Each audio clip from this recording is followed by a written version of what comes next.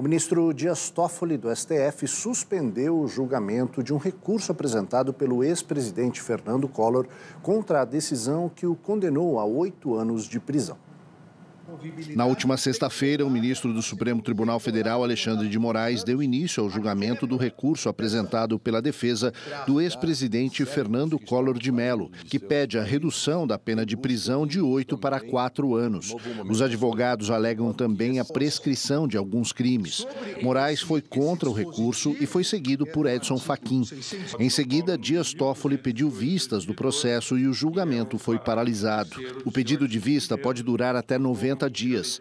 Essa é uma das últimas etapas do processo e, caso o recurso seja negado, uma ordem de prisão poderá ser expedida imediatamente. Em maio do ano passado, o STF condenou o Collor por corrupção passiva e lavagem de dinheiro, num esquema envolvendo a BR Distribuidora. Ele foi acusado de receber propina por influenciar o comando de diretorias da BR Distribuidora, que teria favorecido a construtora UTC.